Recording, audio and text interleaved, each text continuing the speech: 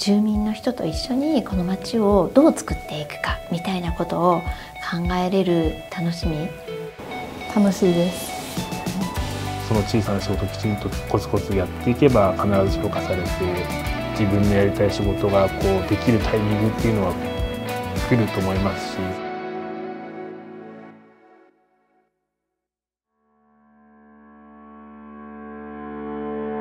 ずっと星の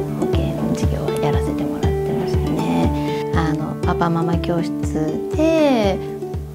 赤ちゃんが生まれる準備をしてで赤ちゃんが生まれたら新生児訪問に行って検診をやっていく中でお子さんの体の問題だったり発達にかかる相談だったりお子さんも100人いたら100人違いますからその家庭にはその家庭の子育てがあるしそれはそうであると思うんだけどやっぱりその中でなんかつまずくっていうことがきっとあると思うんですよね。それは誰でも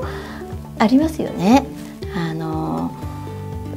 子供も成長していくとともに自分も成長していくって親も成長していく中でうまくいかないことって大なり小なりいっぱいあると思うんですよね。そこをあのなんかちょっと一緒に考えてくれたりそういえばこんなことできるようだったり子どものことを一番に考えた時に今これやってったらどうだろうかっていうふうに考えれたりするところがあの私たちがその今までいろんなお子さんを見てきたりお母さんよりちょっとこう離れて客観的に見れたりする私たちの立場で一緒になんか話ができるっていうところなのかなってそれこそ母子保健の分野では本当に生まれて就学前からちょっとお子さんの発達気になるねっていうところから始まってあの就学後もそのお子さんの様子をずっと見守らせてもらって一緒にどうしていくかっていうのを考えていくっていうふうなことがあの一番すごくあの今までやってきてこれかなって思うところですね。はい、税務住民課の戸籍グループに所属しています。公務員って硬いイメージがあったんですけど皆さんすごい優しくしてくれて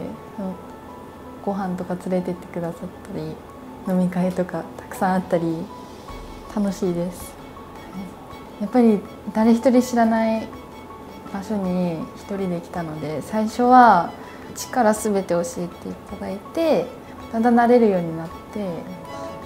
職員の方も町民の方も本当に優しい方ばっかりで来てよかったなって思ってます。本当に。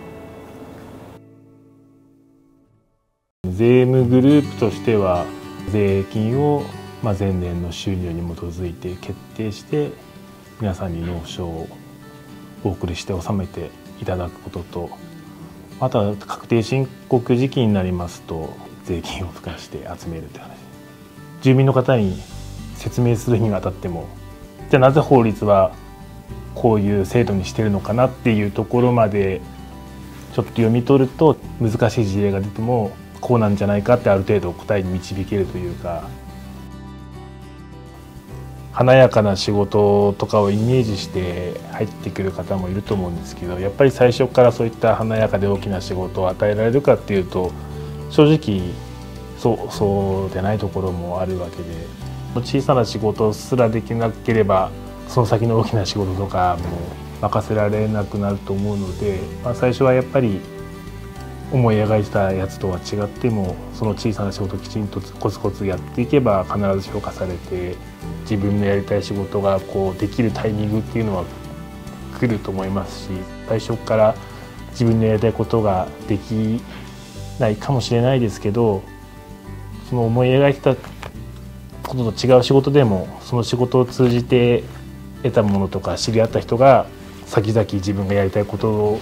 実際に仕事をする時につながってくるかもしれないのでその仕事を通して安平町を、まあ、好きになってほしいっていうか